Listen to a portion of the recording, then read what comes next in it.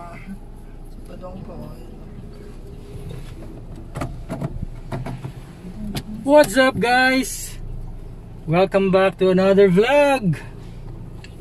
So ngayon papunta kami ng Wilcon Dasma.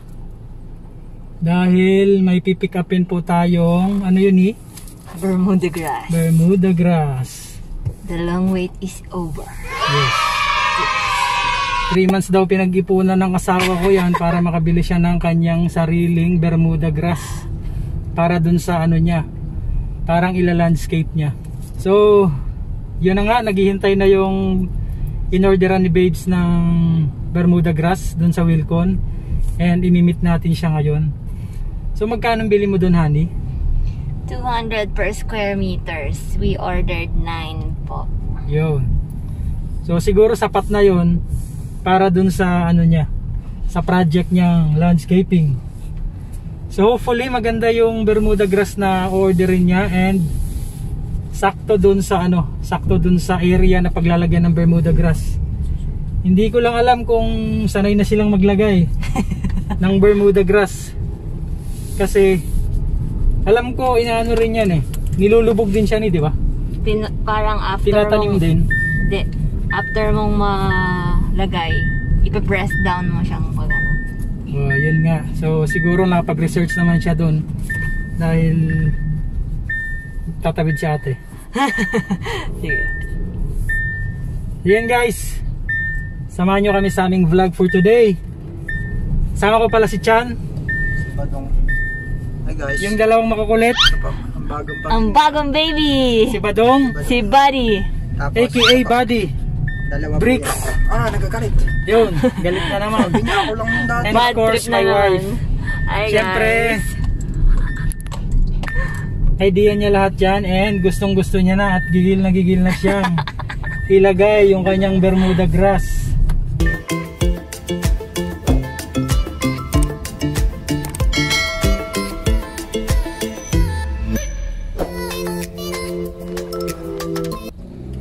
So dito na tayo sa 7-Eleven.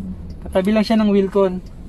So pupuntahan na lang siguro nila babes sa ni yung imi-meet up nila kasi mahirap mag-parking sa loob. eh.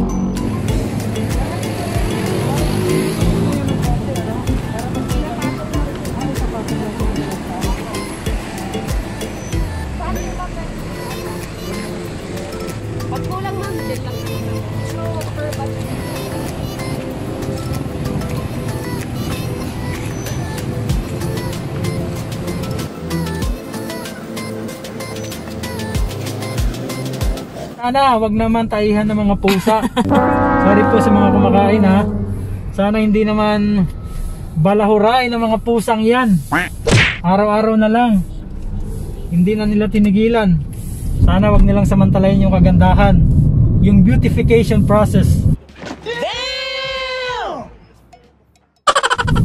na ginagawa ni Chan Niton at ng asawa. So guys, kakabit namin mamaya and papakita namin sa inyo kung ano yung magiging resulta and kung ano yung kalalabasan ng ating Bermuda grass. See you later. That's it. That's it daw, baby.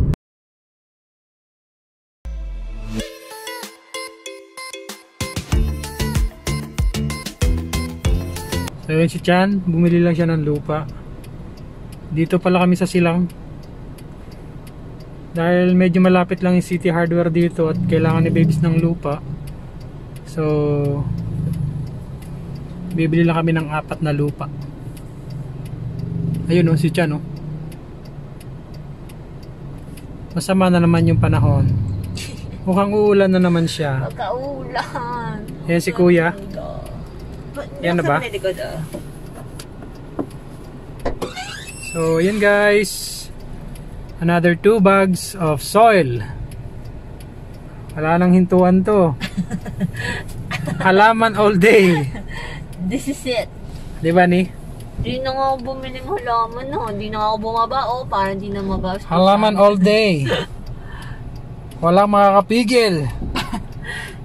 Pinigil ko na yung sarili ko. Ayoko na nga bumaba. At alam mo lang kung magkano. Oo nga eh. Ayan si Chan. Busy busy. Si Plantito. Plantito Inspired na inspired po. May jowa na. at si Plantita. Mahal. Mahal dyan. Magkano daw? Magka? 150. 150. 150 boy. Kinanay bet, 70 Sup. lang yun. Dapat yun. So, yun guys, pabalik na tayo ng City Hardware. Bye, Bye for now. Bye plants. Bye-bye. Wala akong biniling halaman ah.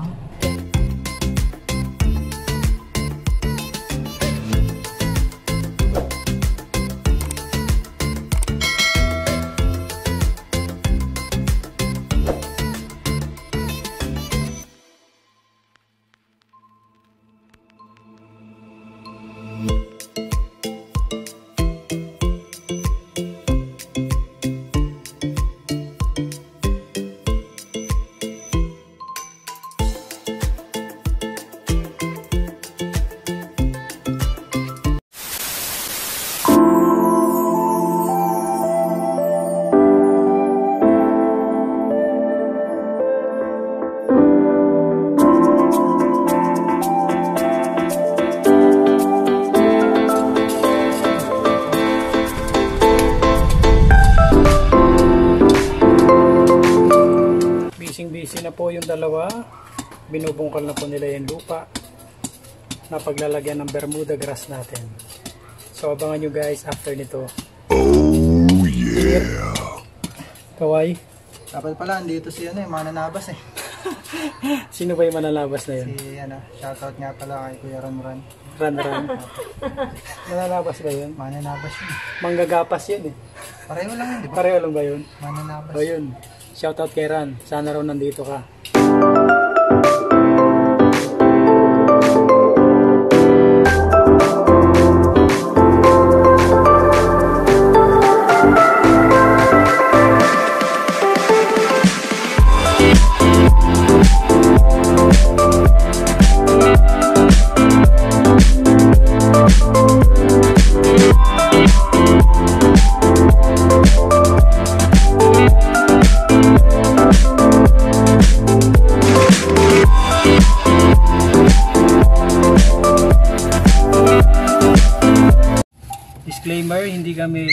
Expert sa pagtatanim ng mga ganito.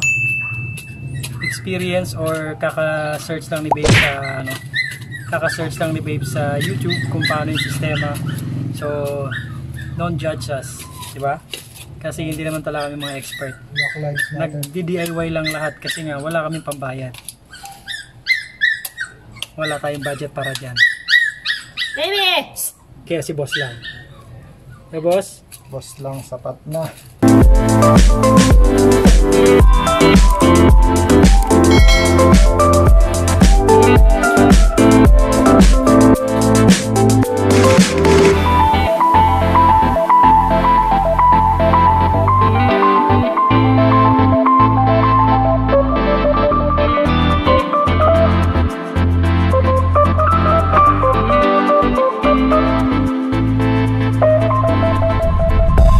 So updates lang po guys. Bumili kami ng bricks.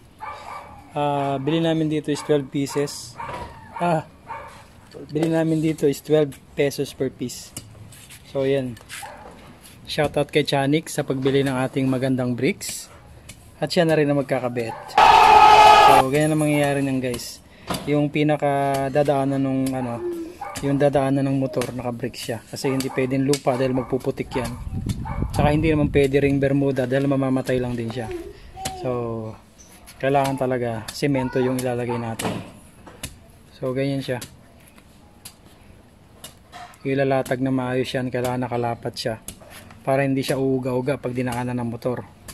Di ba, boss? Yes, sir.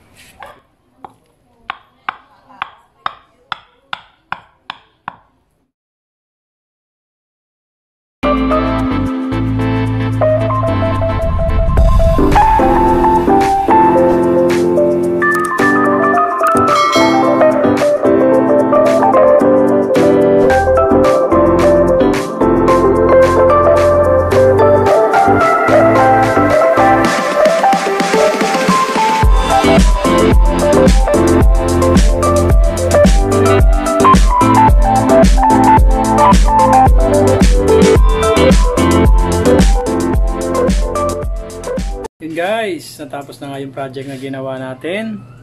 Of course, with John. Lupit. And of course, my wife na nagpiprepare sa aming almusal. Yan, medyo malabo yung camera. Kasi makulimlim na naman, parang ulan naman dito sa amin. So yun guys, yung ginawa pala namin dito, ah, unang-una naglagay tayo ng Bermuda grass.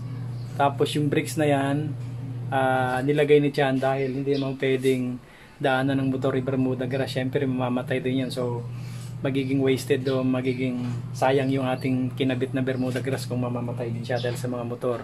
So yung motor na yon kay Chan, kay Ton at saka kay Tatay kakasayan dito. So yun yung aming ginawang idea. And dun sa harap naglagay din tayo ng bricks para sa tapakan ni Babes. So all in all, ang inabot na gastos is magkano kaya Chan? Ah, yung bricks, ano eh. Bermuda, 1.8. 1.8 yung Bermuda tapos yung bricks. Ah, yung inubos natin dyan, ilang peraso? 53. 53 pieces yung inubos namin dito. Maliit lang yung garden namin. Ah, 12 pesos per piece. So, kayo na lang mag-compute kung magkano yan kasi hindi na. Tapos yung lupa pa pala na binili namin sa silang. Apat na peraso niya, no? Kailangan yun para ah, maganda yung tubo ng Bermuda grass. Diba, Chan? Yes, sir. Alright. Para kumapit siya. So, Mabato kasi yung lupa eh. Kaya, So, yun ang kailangan. Topsoil. Alright. Topsoil. So, topsoil yun. Hindi yan sa ilalim ha, kasi top siya. Oh, pag top kasi sa ibabaw. Yun na naman. Gumana na naman po. Yung kabulastugan. Ah, yun guys, shoutout kay Chan, sa asawa ko, kay Ton na tumulong sa pag-improve nitong ating bahay. So yun guys, kung nagustuhan mo yung aming ginawa na vlog, please don't forget to hit the like button and kung bago ka pa lang sa aming channel, please don't forget to subscribe and hit mo na rin yung notification bell para updated ka sa mga future uploads pa na gagawin. So that's it for the vlog. Once again, thanks and God bless. Ciao!